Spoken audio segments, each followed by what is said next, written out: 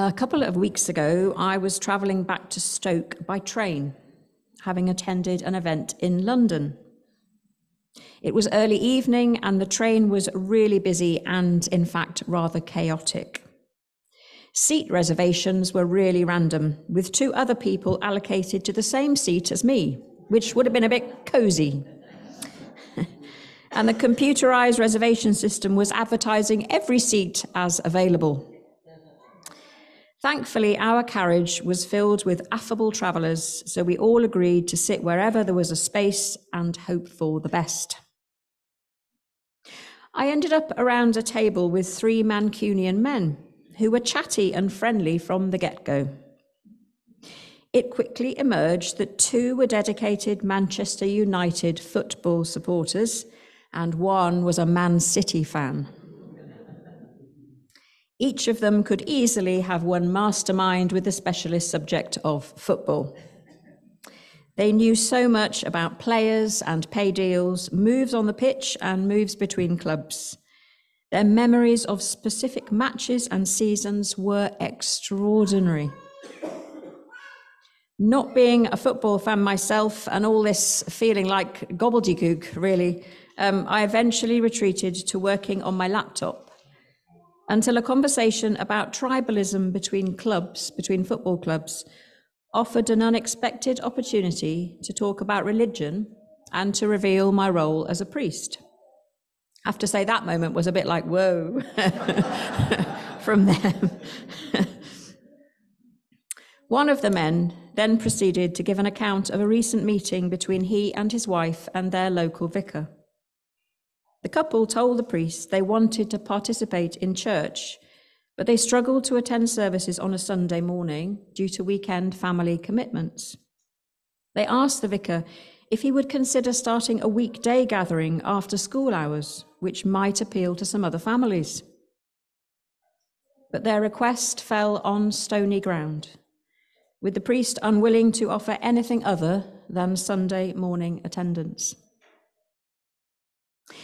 Here we have a scenario of a family keen to explore the seeds of Christian discipleship, yet finding no depth of spiritual soil within which to root themselves.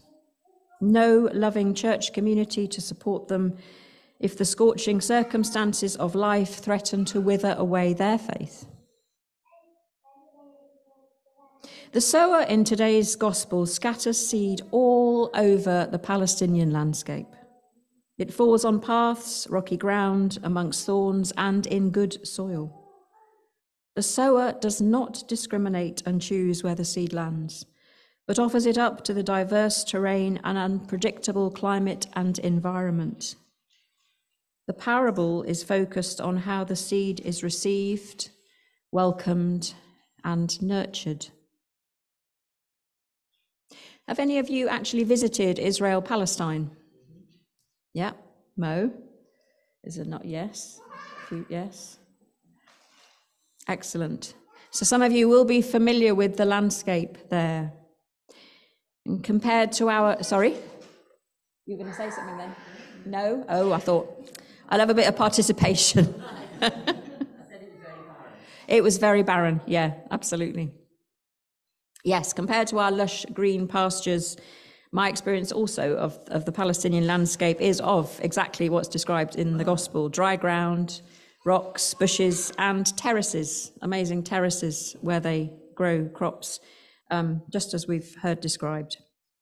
And the original hearers of this parable at the time of Jesus would have been very familiar with the challenges of sowing seed and growing crops in Galilee and Judea. In the Gospel, Jesus goes on to explain the parable of the sower to his disciples, not leaving them in any doubt of his comparison between this agricultural narrative and openness to revelation of the kingdom of God. Chapter 13, if you read on, is actually dedicated to a range of parables expressing aspects of the kingdom. Jesus doesn't use logic or argument to reveal the kingdom to his listeners but story. The stories we tell reflect our culture, parables being a much loved feature of Judaism. In ancient Israel, the parables of Hebrew scripture what we obviously call the Old Testament, would have been told at home in the evening, after dinner, and also in workshops, in fields, in, in synagogues.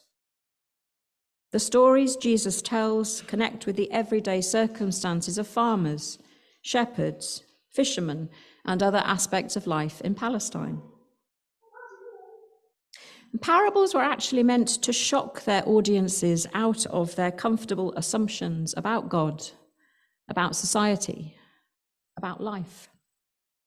They challenged prejudice and injustice. They invited hearers to reflect on and change their attitudes and behaviours. I was recommended a book about the parables by someone called Amy Jill Levine. The author is Jewish a professor of New Testament and Jewish studies in the United States. And as a Jew, Levine offers important insight into the original contexts of Jesus' parables. She relates them to the specific Jewish culture and the practices of the day. Parables are not meant to be easily understood, but they're meant to cause discomfort to listeners they're meant to hold paradoxes and ambiguity that we have to work through and, and struggle with. Levine says, What makes the parables mysterious or difficult is that they challenge us to look into the hidden aspects of our own values, our own lives. They bring to the surface unasked questions, and they reveal the answers we have always known but refuse to acknowledge.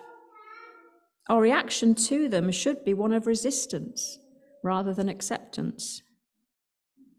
She goes on to say, religion has been defined as designed to comfort the afflicted and to afflict the comfortable. Religion has been defined as designed to comfort the afflicted and to afflict the comfortable. And the parables of Jesus do the afflicting. If we hear a parable and think, oh, I really like that, or fail to take any challenge, then we are not listening well enough. I think what surprised me most was Levine's understanding that the original gospel writers were also sometimes attempting to control the meaning of Jesus' parables in some of their interpretations, maybe diluting the directness of his challenges. We, we weren't there, we don't know. We have to rely on what we read. But she suggests, for example, that in the Gospel of Luke, when he interprets the parable of the unjust judge and the demanding widow and says it's about never giving up on prayer, he possibly minimizes the unfairness and lack of compassion that Jesus wanted to evidence in the story. Jesus intended his parables to be challenging and to raise more questions than answers. And not only the gospel writers, but the modern church tends to all too easily to domesticate them and often to turn them into children's stories. In our society today, it's harder to relate to the original parables of Jesus because most of us are not farmers, fishermen, or shepherds. However, we and the communities around us are crying out for stories. They are crying out for stories that reveal the kingdom in our everyday lives. They're crying out for signs of justice, of hope, of healing, and of peace. God the sower is always sowing the seed. Anywhere and everywhere, people will receive his love growing the kingdom in the most fertile and in the most barren areas of our world today. The question is are we all open to seeing and receiving God in every aspect of our lives and in the lives of our communities, in the lives of football fans travelling on an evening train?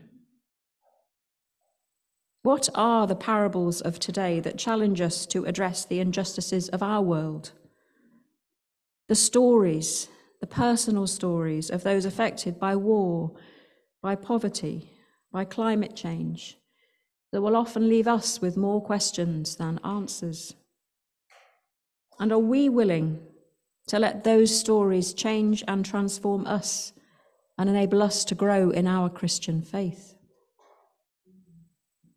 Faith can thrive within a loving church community like St. Paul's. But familiarity can sometimes also lead us into comfort and into complacency, which does hamper our change and our growth. That's at individual, at personal, and at collective community levels. The fourth century theologian Gregory of Nyssa actually defined sin as the failure to grow. Sin as the failure to grow. I believe those outside our churches can challenge us to change and grow if we relate to them with open minds and hearts and don't assume that we as church have all the theological answers. As our Stoke communities reveal aspects of the kingdom through their everyday stories, we can help them see how these experiences connect with the golden thread of God's love that is weaving through their lives. We will learn from each other, changing and growing together. So let's not be like the vicar in Manchester who was unwilling to contemplate a change to his church that could have nurtured the seeds of faith in not just one family's life, but several families in that community. Let's be the good soil, willing to be tilled and cultivated so that we can bear the beautiful, life giving fruit of transformation. Amen.